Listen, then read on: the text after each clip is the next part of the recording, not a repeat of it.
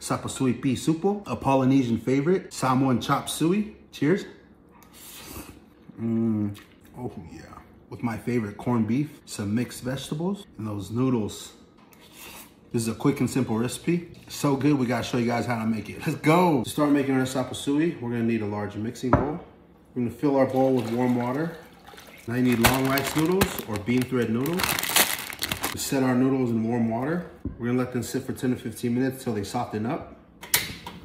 Frying pan on, a little oil. While we wait, we're gonna chop up half an onion.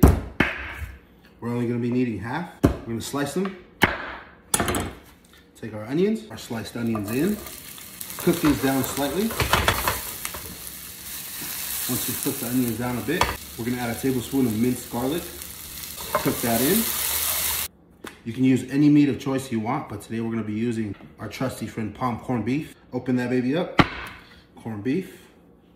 Now we got our New Zealand palm corned beef. It's gotta be palm, guys. I wanna cook that down as well. Once that's nice and cooked, you can use your classic recipe of carrots and cabbage, but today we're gonna make things a little simpler. We're just gonna use some mixed vegetables. We're gonna go ahead and add in our mixed vegetables. And Cook that in all together.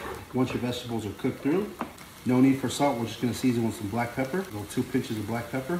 Mix that in. 15 minutes later, our noodles should have thickened up. They should look something like this. Now we're just gonna take a pair of scissors and cut right down the middle. And then we're gonna cut them in half one more time. Now we're gonna drain our noodles. Now we're gonna take our drained noodles and pour them right into our meat. Now you wanna mix this evenly with the meat. I saved a cup of noodle water. We're gonna add in just a cup. This is gonna help thicken our noodles.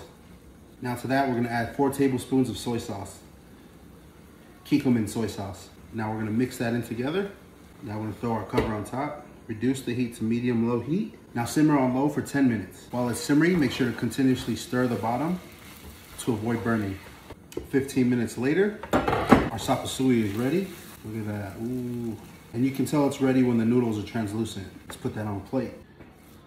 Oh yeah, chop suey. And there it is guys, right here.